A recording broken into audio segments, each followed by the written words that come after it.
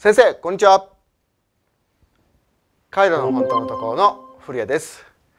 え今回は理学総体第3弾、えセミナー DVD ですけども皆さんにご紹介させていただいてるんですが、え今回はですねその理学総体第3弾ですね。その中に入っている、えポール総体ですね。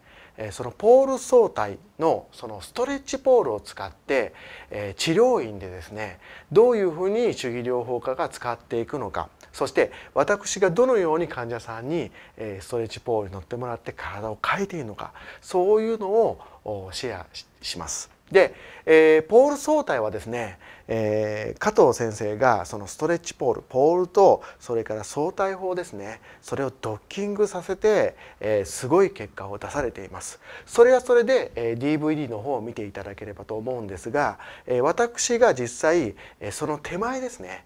えー、加藤先生にこれも教えていただいたんですけどもその手前のやり方で患者さんに、えーまあ、驚きの結果というか、えー、実はですね今回、えー、今日この撮影をする今日これ午後やってるんですけども、えー、今日の午前中に2人目の患者さんにも、えー、ストレッチボール紹介したんですけども、えー、すごい驚いてくれました。もうすぐにこれどこで売ってんのっていうここで売ってんのって言われたんですけどもいやあのネットでっていうふうな感じで言ったんですけどもそれぐらいインパクトがあります。その患者さんそんな驚かないんですけども、えー、今回この私が使ってる方法でとってもびっくりされたので今からそれを先生に、え、見ていただきたいなというふうに思います。で、え、ストレッチポールなんですけどもえー、まあ、これがあの正規のっていうかストレッチポールですね。実際に販売されているものです。これインターネットで調べていただければストレッチポールと言っていただければこれがちゃんと手に入りますので、えー、まあこれは絶対1本持っといた方がいいと思いますね。で次この黄色のやつなんですけどこれは、えー、っとこれもネットで買ったんですけども、えー、材質がですねちょっと柔らかいんですね。ですのでちょっと女性とかあ、まあ、お子さんとか子供ですね。そういうちょっと使ってます。これは大体スポーツマンですねすごい体がっちりされた方とか女性でもスポーツされてる方ですねパフォーマンスを上げたい方とかそれを使ってます。でこの楕円形ですねこれ楕円形になってるんですけども、えー、これはですね、えー、ちょっとこのストレッチポールちょっと大きいんでえー、乗った時に怖いんですよね。ですのでちょっと、えー、まあそもそもちょっと体がご自由ご自由なあ不自由な方とか、え、それから高齢な方にこの楕円形のポールを使っています。加藤先生は結構これをねごしゅご推奨されてますけども、えー、まあそういうふうに使い分けております。で今日はですねちょっとこの実際のこのストレッチポールっていうのをちょっと使っていきたいと思います。で、えー、じゃあモデさんどうぞお願いします。でえー、まずはですね、まあ、これ患者さんがこう来たとしましてですね、えー、実際ですね一番最初に何をするかが実はポイントなんですよ。いきなりポールに寝てもらっては絶対ダメです。まずは変化を出さないといけません。じゃあ変化を感じてもらうためにどうするべきかというのは体が変わる前ですねそれを感じてもらうことが一番なんです。でどうするかということですねすごい簡単です。ただ単に寝転んでもらうことですじゃあ仰向けで頭こっち側にしてちょっと寝転んでもらえますか？はいじゃあそのまま寝転んでもらって。はい。今こうやって寝転んでもらってますよね。でこうやって寝転んでもらってただ単に寝転がってもらうのはああんまりよろしくないんですね。この時にですね言葉かけが重要なんです。でどういう言葉かけをするかと言いますと、えー、今ですね寝転がってもらってますよね。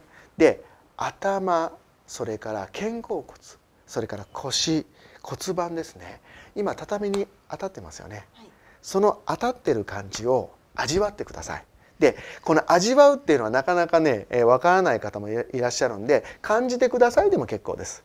でこんな感じっていうのを多分分かると思います。この感じてもらうのは別に1分2分しなくていいです。僕僕の場合はもう10秒20秒で終わっちゃうんですけども今喋ってるんでちょっと時間が長くなってますけども今こう背中感じられましたよね。でこれを感覚で結構なんで覚えておいてくださいという感じでお話しします。でこれをしっかりしといていただかないと絶対後で分かりませんのでこれを絶対しといてください。でここでですね例えばあ実はねいろいろあるんですけども寝転がるだけでは面白くないので私はですね例えばここでですねちょっと手両手万歳してもらえますか？はい。両手を万歳してもらってこの上がる感覚とかもうちょっと見てもらいます。はい結構ですよ。今肩の窮屈感とかあちょっと見てもらったと思うんですけどそれも覚えておいてください。例えばですねその他にですね、えー、普通にまあ私は主義療法家ですから、まあ、あの例えばですねもう足を上げて大丈夫な方はこうやって足を上げて螺旋具兆候とかそういうのやってもらって結構です。あ力抜いてもらって結構ですよ。はい。ここら辺がちょっと硬さありますよね。はい。こういうのもちょっとやっといてもらっても結構ですよ。いろんな検査ここがここから硬いですね。はい。こういうふうな検査をしてもらっても結構だと思います。はい。ではちょっと一旦立ち上がっていただけますか。そのまま向こうを向いて立ち上がってください。でここでですねストレッチポールの登場です。まずはあセットします。そして、えー、ここも実は丁寧な説明が必要なんですね。ちょっと肩幅開いていただけますか足を。はい、で、えー、ちょっと見ていただくんですねここにね。はい、ここに、はい、えー、腰を下ろしていただけますか？っていう感じで話します。ちょっと腰を下ろしてくださいね。はい。持ってますんで大丈夫ですよ。はいそうですね。はい。でそのまま腰を下ろしていただきます。ですぐに寝転びたがる方もいらっしゃるんですけどそれはそれで OK です。ただ、えー、まずは順番通りしないとやはりこれ安定性が悪いものなんで気をつけてください。であの今畳の上でやってますけどもやはり地べたりする方が一番いいです。で、えー、この次ですね、えー、まずはあこの次は、えー手を使って結構ですんでそのまま後ろに寝転がってもらえますか？という話で話します。はいどうぞお願いします。そうですね。はいはい。で手でそのまま支えてもらって結構なんでね、はい、でこの時にですね足を伸ばしたがる人がいるんですけど足はそのまんまこの状態にしといてくださいはい、で次ですねこれ加藤先生が実はお話しされてるんですけども、えー、今背中にこう、えー、ストレッチポールがあるんでたまにやはり痛がる方がいらっしゃるんですね。で痛がる方もいらっしゃいますけどもまあこのままでも大丈夫だってお話しされる方もいます。一番やってほしいのは今変なとこに乗ってる感じがするんであればちょっともぞもぞしても結構ですよというふうに言ってみます。ちょっと今調整してもらってもいいですよ。一番自分が落ち着くところですね。そこが今落ち着いてるんで OK ですよ。OK ですか？おやはり動きましたね。はい。そうですね。でこれでいい感じにしていただきました。こっからが、えー、まずストレッチポーのやり方なんですけども、えー、私がやってる方法はまあいろいろあるんですけども、えー、上肢と下肢で分かれて、えー、ちょっと体のコアな部分を動かしてもらうというかバランスをとってもらうんですよ。でこれどうやっていくかというと例えばですねじゃあまず下肢からいきましょうか。えー、とっても簡単です。足そのままでこっち側の足ですね。こっち側の足を、えー、上げていただけますか上に。そうですそうですああね膝この時これねあの今指導がおかしいんですちょっと下ろしてくださいね膝を曲げたままで結構です。曲げたまま足を上げてください。そうこうするとこうやってくれますよね。はい下ろしてください。次こっちが逆ですね。はい。で支えてもらって結構なんでね。はい下ろします。はいもう一度こっちですね。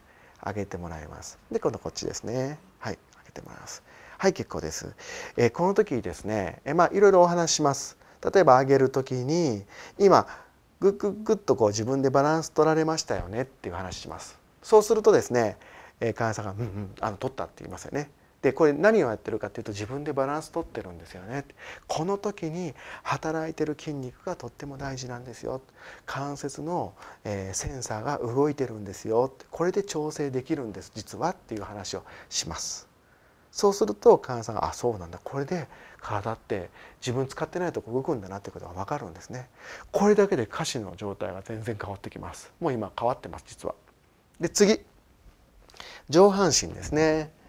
えー、っとこれね、えー、まあちゃんと説明しないといけないんですけどもちょっとこれね、えーいろいろやり方あるんですけどもちょっと今日見せるやり方しますね。患者さんにですね今こうついてますよね。で手をパーにしていただいてゆっあのじわっとゆっくりでいいですよ。そしてこの状態でまずこの手だけいきましょうか。この腕だけでこういう窓を拭いてる動きですね。それやっていたらあちゃんとしっかり窓を拭いてください。そうそうそうそうそうそうそう。窓を拭いてください。そう。窓を拭きます。そうそうそうそうそうそう。はい OK です。じゃあ今度向こうも拭いてください。向こうの右手も拭いてください。はい。はい OK です。じゃあ次両方両方こうやって拭いてください。内回しで結構です。そうですね。はい。で意識的には肩甲骨をちょっと動かしてるイメージですね。そうですそうですそうです。はい。はい次逆向きで逆向きで拭いて拭きましょうか。はいそうですね。これも肩甲骨を動かしているテクニックですね。実はトレーニングです。今これいろいろゆらゆらしますでしょ。これで自分でバランス取ってるんですね。はい OK です。はい。これが一つの運動。それともう一個。次はですね手を前習いしてください。はい。これもバランス取ってますね。大丈夫ですか？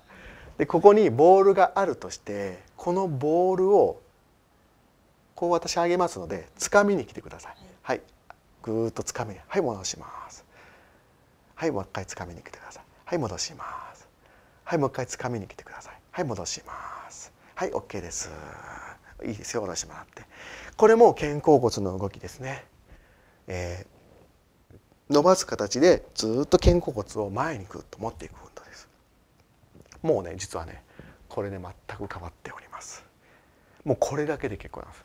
実は今日午前中にやった患者さんもこれしかしません。でこの状態でえー、ちょっと、えー、本当はねどっちでも結構なんですけど向こう側に寝転んで、えー、降りてもらえますか、ホールから。あもうドドンでいいですよ。はいそうそうそう OK です。はい。はいそのまま寝てくださいね。はいこの状態でもう今顔で分かりますよね？違いますよね？ちょっとびっくりしますでしょ、はい、今、えー、最初に寝られた時と全く肩甲骨それから腰骨盤の当たり方畳に、えー、ぐっと沈み込むような感じですね。これをね代弁してあげるんですよ。感じてること。例えば僕がよく使うのは「えなんか畳に埋もれてる感じですよね」とか「吸盤が畳に吸盤があってくっついてる感じですよね」とかいろいろ言い方あります。もう特に患者さんが言うのは腰がぺったりついてますとかって言いますね。ついてますよね。これちょっとびっくりするんです。もうこれだけでこれが欲しいってなります。それぐらい体が変わったんですね。でちょっと専門的な方スポーツをやられてる方とかっていうのは、えー、その時にですね、うん、これねどういうことが起こってるかというと日頃使っていないところですね自分に全く感覚がないところでこういうふうな動きをすると体のセンサーが働いたりとか使っていない筋肉を働働かすことによって全然体がこうやって変化するんですよっていう話をします。もうこれで全くここに来た価値がすごくあるんですね。でそれを患者、え、スポーツやってる先生方とか患者さんにお話します。ちょっと一回試してみましょうか。あんまり僕もこれでこれでもう患者さん納得してくれるんですけども、えー、ちょっと一回やってみましょう。ちょっと定番剤してもらえますか？もう定番剤もね変わるんですよだいぶ。あぜ 違いますねもうね。はい OK です。でちょっと足も見てみましょうか。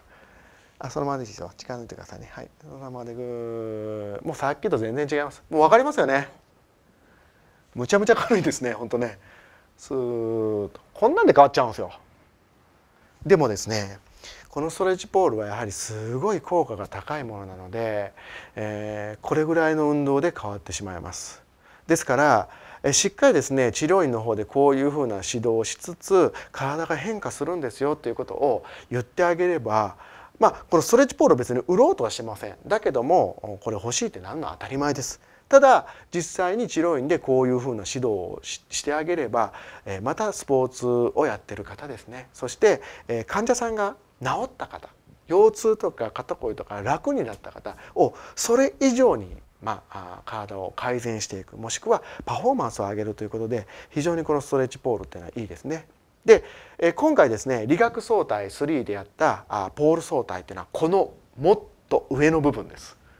え今やってるっていうものはあ非常に治療院で使いやすくして僕がいろいろアレンジしたものなんでえ先生があ加藤先生が公開されたものはもっと上の部分ここからまた刺激と変われていきますのでえとっても面白いものになっておりますので是非ですねえ理学相対3セミナー DVD を見ていただいてですねえ先生の臨床で使っていただければと思います。